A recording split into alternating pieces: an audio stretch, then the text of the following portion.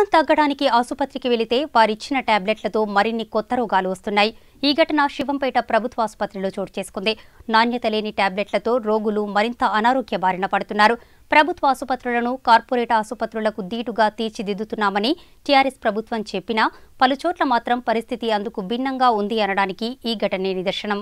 రోగాలు తగ్గేందుకు సిబ్బంది రోగులకు ఇస్తున్న మాత్రలు పాడైపోయి ఉండడంతో అవి వేసుకుంటే కొత్త రోగాల బారిన పడే ఆస్కారం ఏర్పడింది.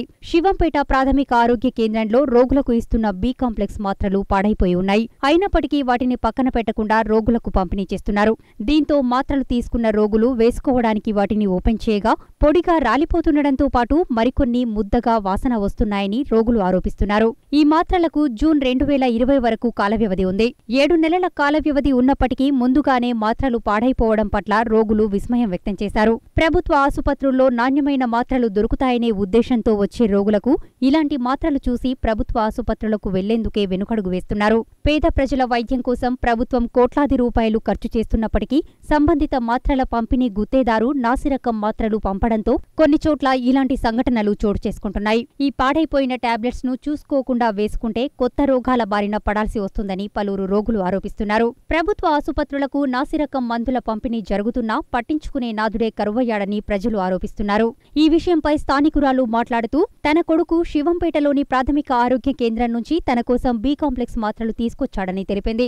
అయితే వాటిని వేసుకోవడానికి తెరిచి చూస్తే మాత్రలు ముద్దగా ఉండడంతో పాటు అదో రకమైన వాసన వస్తుందని తెలిపింది. ఇలాంటి మాత్రలు వేసుకుంటే ఉన్న రోగం సంగతి పక్కన పెడితే కొత్త రోగాలు రావడం ఖాయంగా ఉంది అంటున్నారు. ప్రభుత్వ ఆసుపత్రుల్లో మంచి మందులు పంపిణీ జరిగేలా చర్యలు తీసుకోవాలని కోరుతున్నారు.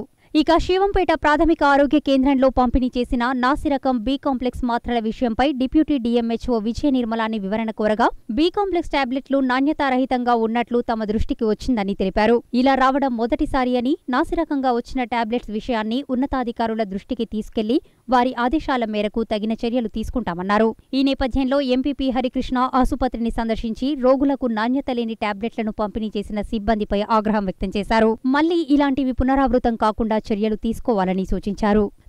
పబ్లిక్ని పిలిపించి బయట మీటింగ్ పెడతా డ్రగ్ స్టోర్ నుంచి వచ్చినప్పుడు చూసుకోవాల్సిన బాధ్యత నీదే రాండమ్గా మనకు ఫార్మేషన్ లా ప్రైమరీ మనకు మొ- మొత్తం కూడా ప్రాథమిక బాధ్యత ఏముంది మనకు? నీ ఒక్కరిని చూస్తుంటే అయిపోయింది. ఇప్పుడు అందరికి ఆటలకి ఇబ్బంది లోకల్ అందరికి ఇబ్బంది.